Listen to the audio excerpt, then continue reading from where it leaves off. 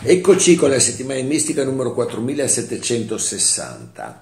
Il mio amico Gipo, di, con lo pseudonimo Pontrelli, lo pseudonimo Gipo, ha creato un rebus, un rebus a cambio. Ecco, anche lo scorso numero avevo, avevamo risolto insieme un rebus, una variante di rebus, lo facciamo anche questa volta. Rebus a cambio, come la scorsa settimana, cambieremo delle lettere dal disegno. Ecco, il disegno è questo qui.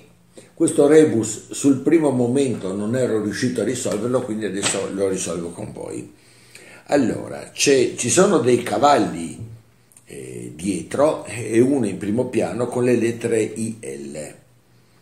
Allora, rebus a cambio 7-6 siccome ci sarà una parola di 7 nella soluzione, ho pensato che cavallo, cambiando la A, la seconda A, in I, viene fuori cavillo. E allora potrebbe essere questa una parola della soluzione. Quindi cavallo, sette lettere, poi una parola di 6, darà fuori cavillo, sette lettere e un'altra parola di 6.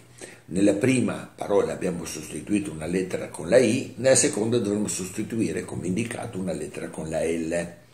Però a questo punto io, siccome gli altri cavalli non avevano tutta questa, la sella e, le altre, eh, gli altri arredi su di loro, eh, avevo pensato a bardato bardato però a sette lettere e non posso cambiare una lettera per ottenere una parola di sei lettere.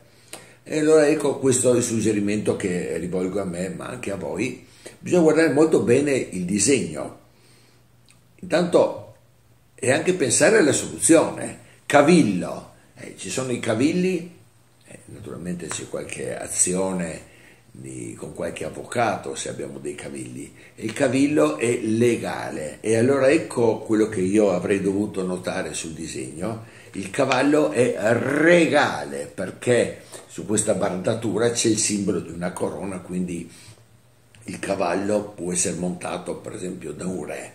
Quindi ecco il cambio, cavallo regale, cavillo legale. Benissimo, Gipo, bel gioco e te l'abbiamo risolto. Ciao a tutti.